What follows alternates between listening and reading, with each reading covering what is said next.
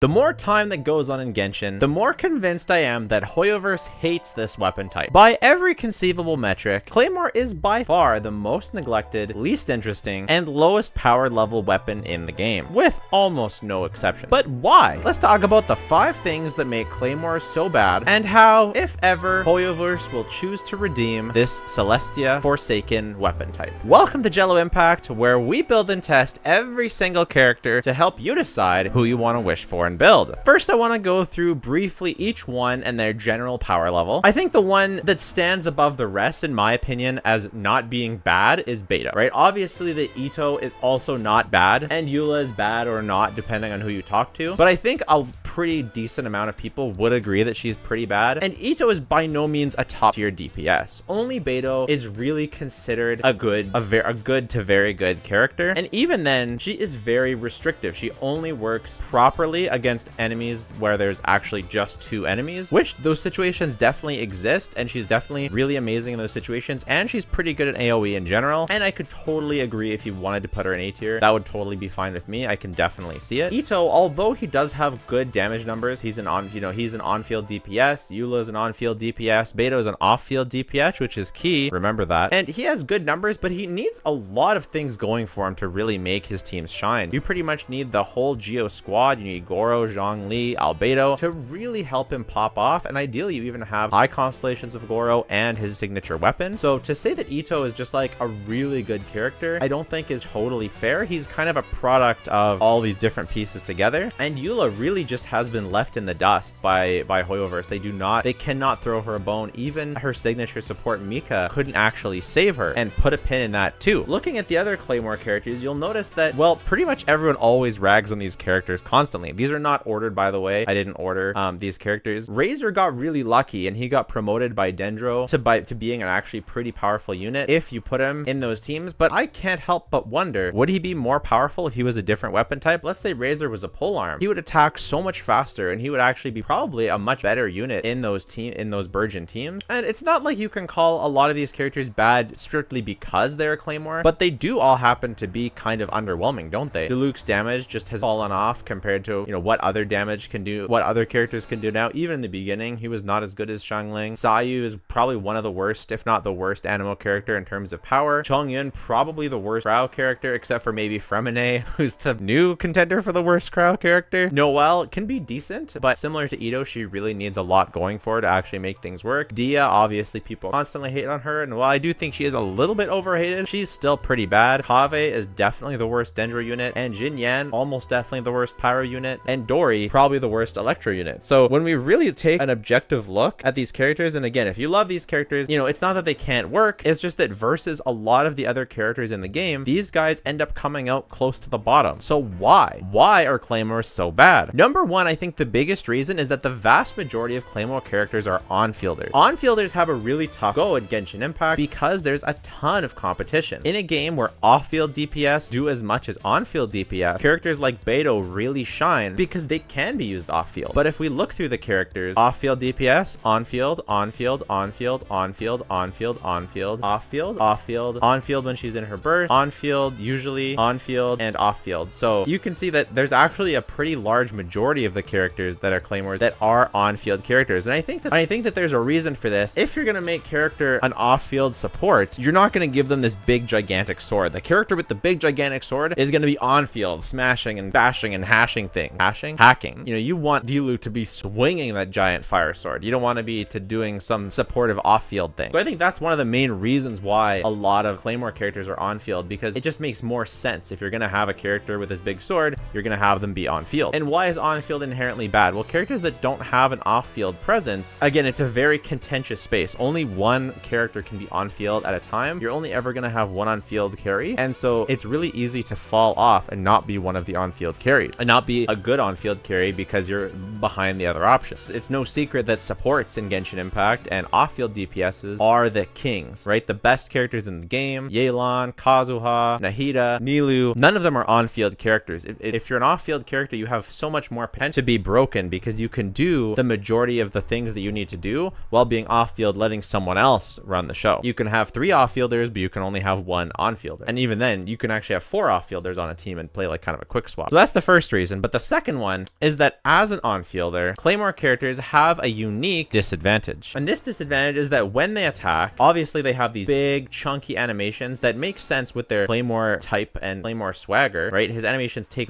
really long time. If you compare that to a sword, for example, these swipes come out much faster and Diluc very, very slow. But not only are they slow, they also have something called hit lag, which means when they hit the enemy, they actually slow down even more. And not only that, they slow down at a faster rate or at a slower rate when compared to other characters. So the amount of hit lag that Diluc gets is much less than the hit lag that Ayaka gets. So that slows down the Claymore's attacking speed to be even more noticeable than it was before. And so after.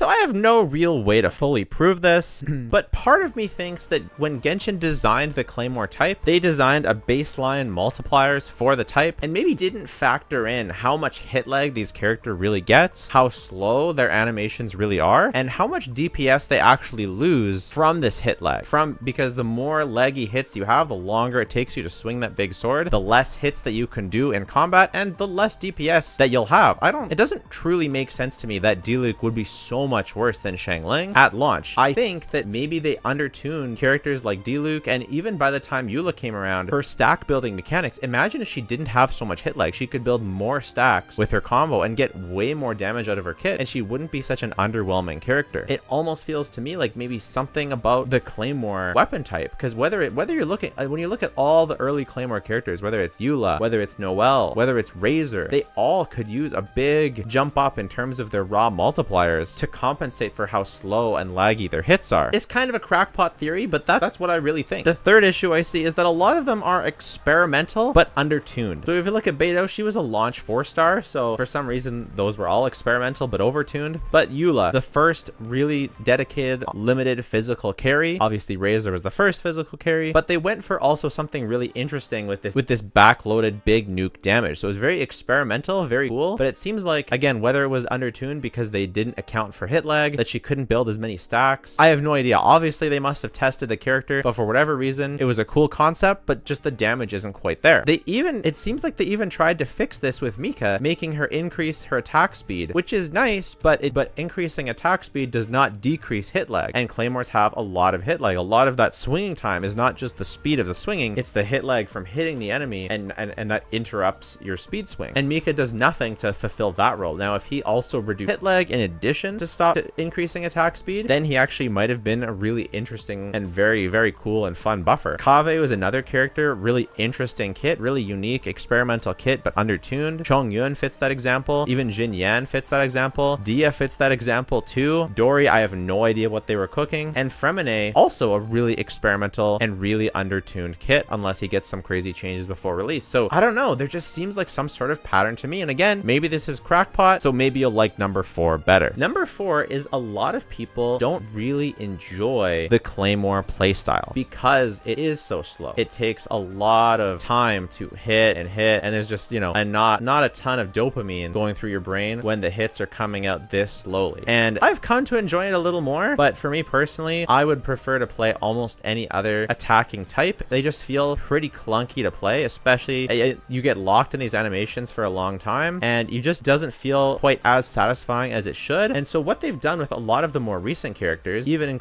starting with Itto and then even more with Dehya, is that they've introduced some other burst infusion mechanic to make it feel like you're not playing so much of a Claymore character. So when Dehya or Itto infuse their burst, they feel a lot smoother to play. And I, I don't think that's on accident. So part of me feels like Hoyoverse knows people, a, a, a, a lot of people don't really enjoy the Claymore playstyle. And I know a lot of people do as well. But since a lot of people don't, maybe they're not making as many characters this type because they know people don't enjoy them as much. And maybe it's part of why they make some of them undertuned as well. It's just a theory, but I think it could be true. Or maybe it's reason number five. It's that Hoyoverse just doesn't like Claymore characters themselves. They just hate this weapon type. Why do I say that? Well, they're actually the weapon type that has the least amount of characters. They're not that far behind Polearm and Catalyst, especially when Freminet comes out. But consider this. Polearm has one, two, three, four, five, six limited five stars. Catalyst has one, two, three, four, five, six limited five stars. What the heck? Let's do sword two. One, two, three, four, five, six limited five stars. Bow has one, two, three, four, five, six limited five stars. You're sensing a pattern. Claymore has, well, they've got one, two, huh? It, it, well, well, they've got D, no, she's a standard. Uh, well, what do? And the last one was released in Inazuma. Um, it's official. Hoyoverse hates this weapon type. Whether it was one of those reasons or you think it was a different one, please comment down there in the comments. While you're there, please consider subscribing. It really helps the channel out. We've gone full time. We're supporting the family with this. As you know, ad revenue is notoriously inconsistent. So thank you so much those of you who are supporting me on Patreon or through YouTube memberships. If you want to check that out and support the channel, please go ahead. If you want to join your Discord and get great help and great community from a great Genshin community, check out the link in the description. And if you don't want to do any of those things, that is totally fine. Just watching the video has been more than enough. Thanks so much. And bye for now.